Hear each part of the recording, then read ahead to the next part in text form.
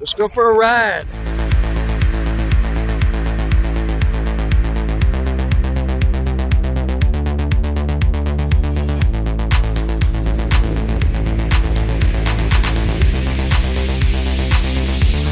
Hello, Mr. Deer.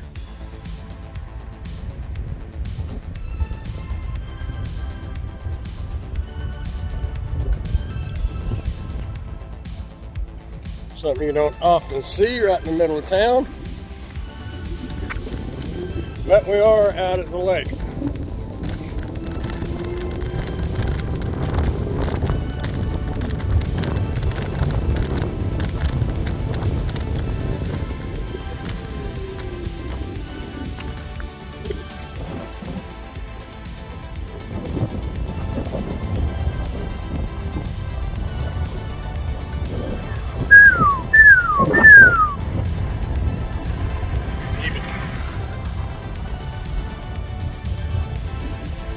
Kind of cool.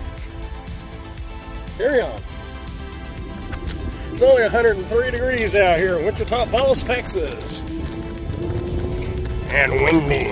Uh, seeing a deer like that out here at this time of day was pretty wild. Anyway, as you see, I'm riding along the dam, and this is at Lake Wichita, here in Wichita Falls, Texas. I want to tell you a little bit about the lake. This is according to the Texas Parks and Wildlife Department. The location is on the south side of the city of Wichita Falls off of Texas Highway 79. They say the surface area is 1,224 acres. And according to this website, it is nine and a half feet deep at the maximum depth. I don't really believe that, but that's what they say. They do say that it was impounded in 1901. That's hard for me to argue that one. I definitely do not know. Now, as we're riding along here, on your right hand side up here, I'll point it out. Um, in the spring of 1910, work began on a pier and a pavilion.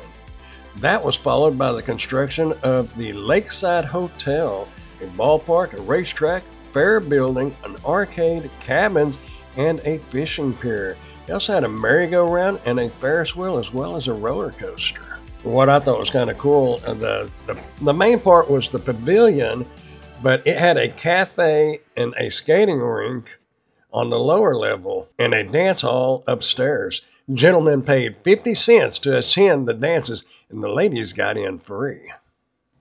Now, the majority of this all stayed in business all the way through the late teens, the 20s, the 30s, 40s, but unfortunately it burned in late 1955.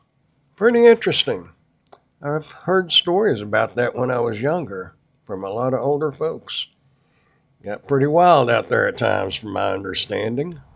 All right, that was my little test ride on the Alloweek electric scooter. Get ready for some more scooting adventures. See y'all next time. Bye.